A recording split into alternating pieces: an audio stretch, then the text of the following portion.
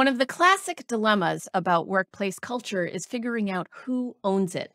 Some feel that culture starts at the top and it is the CEO that owns it, but there are many CEOs who look to HR to lead culture transformation and culture initiatives, which many HR leaders feel is unfair because they think that culture starts at the top. And then there's the question of management below the executive level and the extent to which they co own and co create culture. The answer is Yes. What I mean by that is culture does start at the top, but it doesn't finish at the top. HR leaders do have a unique ability to influence and shape culture. And the way that they can do that is not by being the owners of culture, but rather by developing their counseling skills to the CEO who ultimately makes most of the culture driving decisions. And managers do co own culture, as do individual contributors. A new hire has a part in developing culture because remember, culture is the experiences that we have which shape our beliefs, which determine the actions we take and therefore get results. So the experiences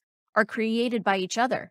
I have an experience when I meet with a new hire or a manager, or I'm listening to the CEO in a town hall, or when I'm engaging in some HR related activity like a performance review. All of those things are experiences that create culture. So if you're trying to figure out if it's the CEO or, or, the head of HR or every single manager in the company that owns culture, the answer is